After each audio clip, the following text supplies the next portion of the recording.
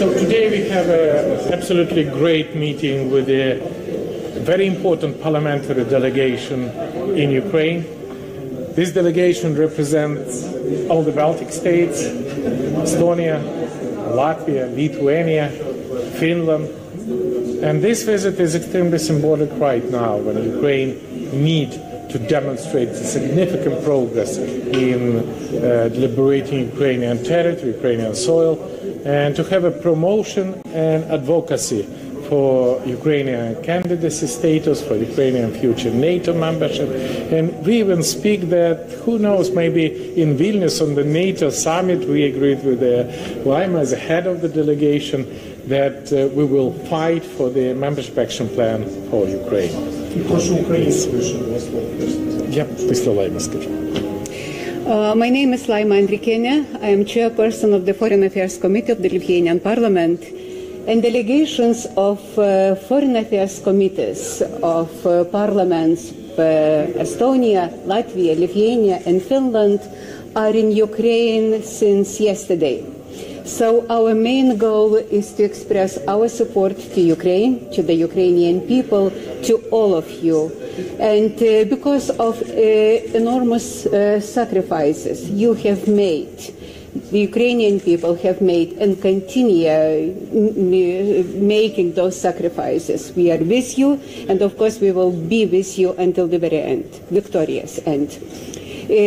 Uh, it is uh, for us a wonderful opportunity also to express our full support to independence, sovereignty, and territorial integrity of Ukraine within internationally recognized borders.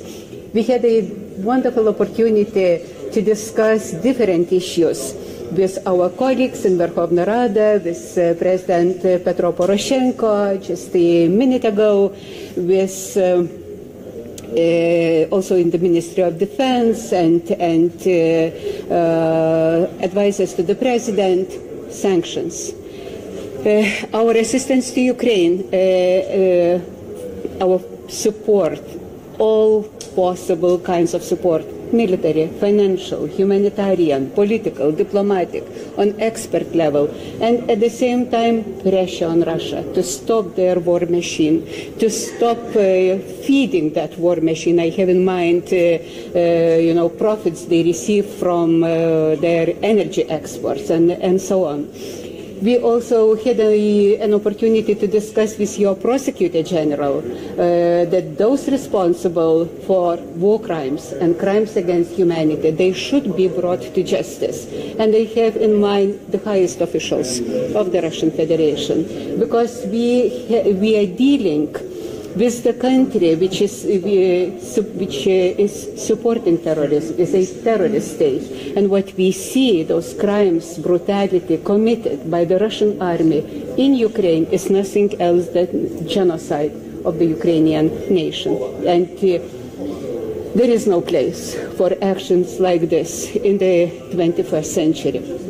We also spoke about your candidate status, Uh, EU candidate status, and we are here to express, to say that we are ready to share our experience.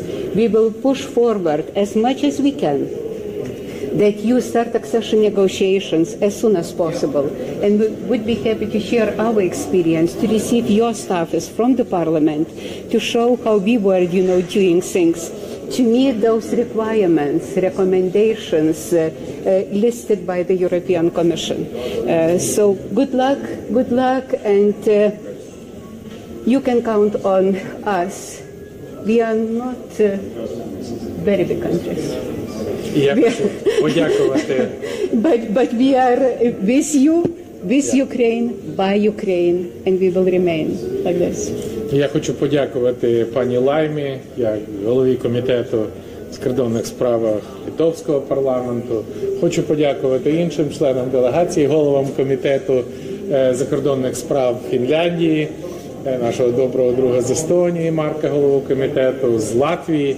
І на сьогоднішній день це є позиція справжніх друзів, адвокатів України, адвокатів нашого майбутнього членства в НАТО, адвокатів наших початку переговорів щодо статусу кандидата, щодо точніше кандидатства повноцінного члена Європейського Союзу і наших партнерів в захисті українського суверенітету в зупинці і перемоги над російським агресором. І friend in need is a friend indeed. І це позиція справжніх друзів, справжніх партнерів, які ми дуже цінуємо. Пані Лайма, всі члени делегації. Я дуже дякую вам від імені українців. Дякую.